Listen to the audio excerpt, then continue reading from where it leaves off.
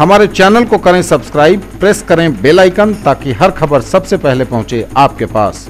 Dagru Seth jewellers, GM road, near radio station, Darbhanga. Bihar में अपराधियों के हौसले बुलंद, दिन दहाड़े समस्तीपुर में चली गोली। बैंक कर्मी को अपराधियों ने बनाया निशाना, अपराधी भागने में कामयाब। बिहार में इन दिनों अपराधियों का हौसला लगातार बढ़ रहा है। समस्तीपुर में दिन दहाड़े गोली चलाकर अपराधियों ने सनसनी फैला दी और इस घटना में गंभीर रूप से घायल एक व्यक्ति को दरभंगा मेडिकल कॉलेज अस्पताल में भर्ती कराया गया है। समस्तीपुर से उन्हें दरभंगा रेफर किया गया है। आकस्मिक विभाग में उस व्यक्ति का इलाज चल रहा है।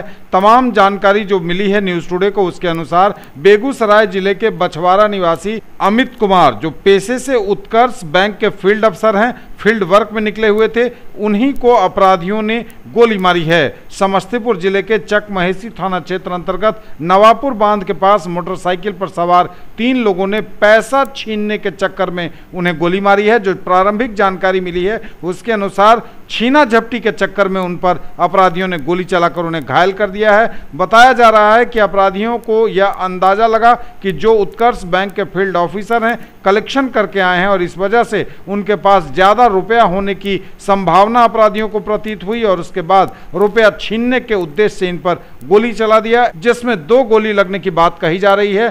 तीनों अपराधियों के द्वारा गोली चलाई गई है। हालाँकि उस बैंक कर्मी के पास ज़्यादा पैसा नहीं था, उनका पर्स लेकर अपराधी भाग निकले।